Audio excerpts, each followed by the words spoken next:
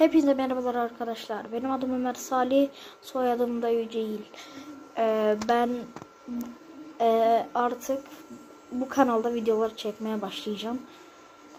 Ee, küfürsüz, böyle e, kavga dövüşsüz bir birçok videolar çekeceğim arkadaşlar.